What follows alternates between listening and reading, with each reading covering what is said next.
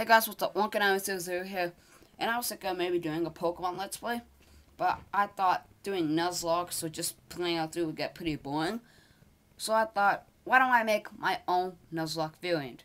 So, welcome to the tutorial of the Wonka Challenge. Wonka comes from my, the Wonka in my name, and then the Conkeldurr. You combine those together, you get Con Wonka So without further ado, let's get into the rules.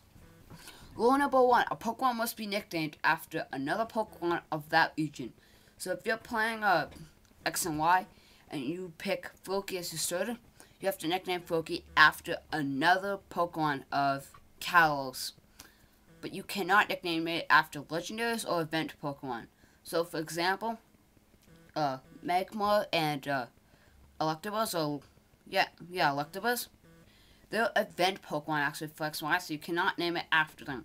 However, you can name it, uh, you can nickname it Magmortar, or Magby, or Elekid and Electivire, because they get those, they get the Magmarizer and the Electivizer, or whatever, Electrolyzer, that makes them evolve, but they didn't give them, they didn't give them the evolve forms. So, yeah, no event Pokemon or legendaries. Two, another Pokemon, if a Pokemon dies or faints during a battle, you have to box it. Can't be released. This is why it can't be released because it goes into rule number three. You can bring back a Pokemon by sacrificing another Pokemon or basically boxing it if it's 20 levels higher. So if I'm playing Fire Red and I lose my Charizard, that's at level 10. But then I also call it capture and train up a Spearow uh, to level, technically be a Fearow up to level 30, you can put you can box it forever and bring back your Charizard. What Charizard can't be level 10. Whatever. You guys get what I mean. Number four, you may not use Pokemon centers, but you can if you get a token, and that's only by beating a gym. So, let's say I'm going up to the first gym, and I've healed all my Pokemon with max potions. Then if I beat uh, Brock in Pewter City and Fire Red, I get one token, and you go to the Pokemon Center and you can heal up. I got the idea from Shady Penguins, so shout out to you, Shady. I thought it'd be nice to have your girl or whatever in my Nuzlocke variant. Number five. This is it's like um the same thing of every Nuzlocke. First time Pokemon you counter on every route you have to ca capture. Doubles do not count. That's pretty much self-explanatory. Grom Number six. This is only if you're playing on um, emulators. Grom must be randomized, if possible. Mainly just randomized starters. If you don't know how to do that, look it up. I don't have decent quality to show you guys how. So, yeah. Rule number seven. Again, just for alarms. If you randomize starter, like when you randomize a starter, if it gives you a grass, fighting, or dragon type, you have to pick it.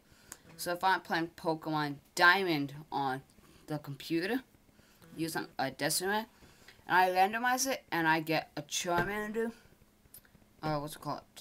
Charmander, um, Starly, I mean, yeah, Starly, or, what's some, well, let's just say Flygon, you have to pick the Flygon. Pretty, like, I thought that'd be cool. My pants are getting up.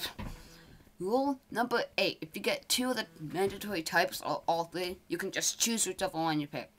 So if you get, like on um, Pokemon Black White, if you randomize it, and you get, um, you get a Snivy, a Scrafty, then a Fraxure, you can pick it. It's like it's up to you. Number nine. This can work with, you can combine it with other Nuzlocke variants.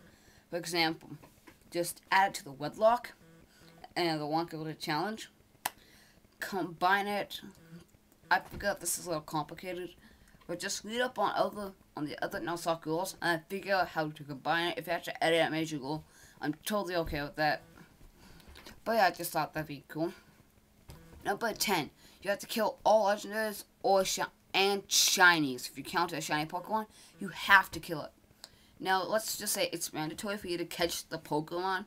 Let's say, like in a Pokemon X and Y, you have to catch Yveltal or Xerneas. That's completely alright, because you need to progress the story. And yeah, so those are the 10 goals of the One Video Challenge. I am your host, Wonka900, and have fun. Boom!